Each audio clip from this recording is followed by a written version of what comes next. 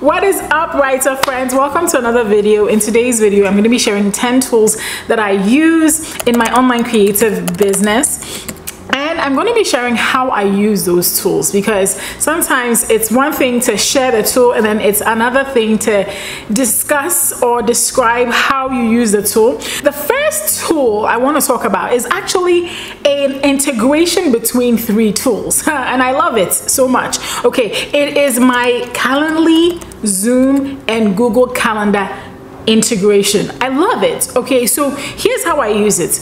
I've told you on this channel that I do run a business known as the Bold PhD. And on the Bold PhD, I do interview other PhDs and how they have transitioned from being an, in academia to a non-academic job, right? But in order to book these calls, I need to find a tool. There has to be something that makes it seamless. And so I got Calendly and at first I would, you know, have people book and I'd have to string together a bunch of tools, but I have the paid version of Calendly and the paid version of Zoom. And I learned that you could link these two tools. So what ends up happening is that when somebody books a call with me for the Bold PhD on Calendly, it immediately schedules a call in Zoom and then Zoom sends that call to my Google Calendar and sends a calendar invite to the person I'm going to be interviewing so they can accept it so it's on both of our calendars. Okay, okay. Like I love that integration so much because I just set it up once and then it just triggers a string of events and it's amazing. So if you also do interviews or plan to do interviews or you know have scheduling in your business, are other reasons I use Calendly as well.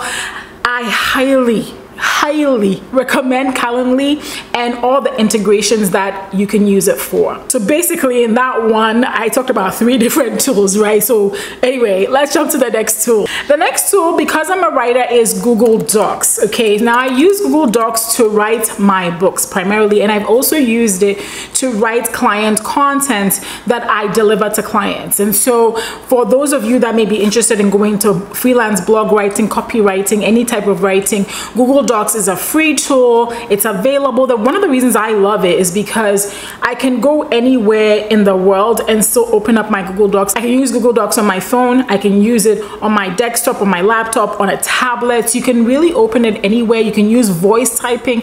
There's so many functionalities to Google Docs. Now, one of the tools that I have been enjoying because I write books is what's known as the Google Docs add-ons. So there are these add-ons or like the extensions that you can include or integrate into using Google Docs. I like one that's called Page Sizer because the, I like to put my books in a 5 by 8 inch format and the default settings or page setup within Google Docs doesn't allow me to do that. So having page sizer is helpful.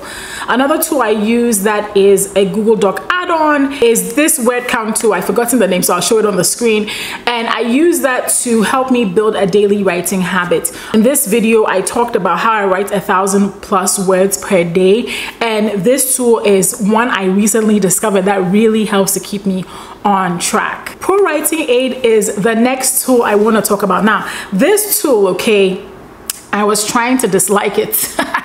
me why.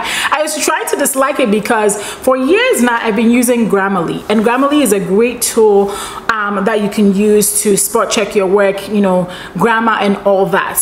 But I have come to a point in my career where I need a paid tool and yes, you can pay for Grammarly, but when I worked at a marketing agency, we used a paid version of Grammarly and I felt that while it was so great, um, there were still some things that I felt like, you know, Grammarly could do more of. And I find a lot of that with Pro Writing Aid. So Pro Writing Aid is not just a spell checker. It's not just an editing tool it also has a writing coach functionality, which I find super amazing and I didn't find with Grammarly. So, you know, the reason why I was trying not to like Pro Writing Aid, number one, because I used Grammarly for so many years. And number two, when I started using it within Google Docs as an extension on my browser, it was slowing everything down. But if you end up using the actual Pro Writing Aid app, once you you know you purchase it and i did end up purchasing it because i needed that much.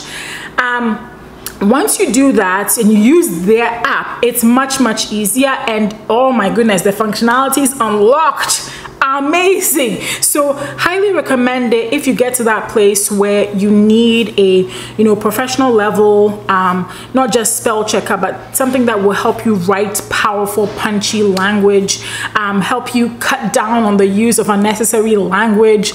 So many other things i highly recommend. Let me know in the you know in the comments if you want me to do a tutorial or review on pro writing aid. I'll be happy to do it. Let me know in the comments below kindle create is the next tool i want to talk about and kindle create is a free tool from amazon. It actually allows you to format your books the right way for amazon kindle. So listen if you've tried to publish on amazon kindle then you know that sometimes there's a little bit of frustration with uploading your documents and having them show up the way you want them to show up. Oh my word for the longest time like i had to figure it out right? And i kind of figured a way around it initially with google docs and all that but if you use amazon's kindle create tool it's a free tool. It's not it's not as sophisticated as some other book formatting tools out there but it gets the job done. That's all i have to say. It gets the job done and doing that has allowed me to put the book in the format that i wanted to be in when we upload it to kindle and then the book looks great and then i'm happy and then i'm not throwing my computer out of the window which you know is super expensive to do. Now let's talk about social media tools. I do automate a large portion of my social media.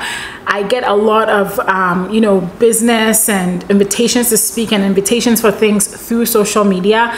And there is no way being a mom, being a wife, be having a full-time job, doing all the things that I do that I can actually sit down and live post. And most people that I know don't do this. I use a tool known as Buffer for my social media automation.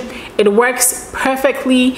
Um, are, and for all these tools that I'm talking about, I just want to mention that there are free versions for all of these tools. But I think, you know, I've grown to a place in my business where free no longer is enough for me. So I definitely have to pay for it. So I do pay for Buffer on a monthly basis and so far it's been fantastic um, in helping me especially like twitter. I don't like to go on twitter but buffer has been super helpful to me on twitter especially for my bold phd business helping me automate a lot of social media. And i've been grateful. And if you get to a place in your business where you hire like a va or a personal assistant you can just kind of give that to them. That's a very easy task you can give to your your social media manager your va your your personal assistant to like work on so that you know you're free to do all the other you know CEO things that you want to do within your creative business. Canva I use Canva not just for social media images but recently I've used them for like short videos for Instagram Reels. I've used them to make presentations. Oh, ah, oh, presentations. Um, when I'm just making a very, very simple book cover, I've used Canva I do not design my own book covers because, you know, people do judge a book by its cover and you want to always give the best impression. And so I do work with graphic designers for my fiction books, but um, when I want to do something really simple, really quick, I will like just look at something I want to do and then try to do the same thing within Canva. But I use Canva for everything. I am so grateful to the creators of Canva Thank you, Lord, for their, their lives. It's been amazing using Canva, and that's what I use for all my graphic design needs. InShot is an app um, it's on an iPhone or Android that you can use to edit videos. So I use this primarily to edit Reels and TikToks. So that's it. I just use InShot and that's it. Sometimes I also use the, um, the native app on Instagram to just edit some of those videos as well.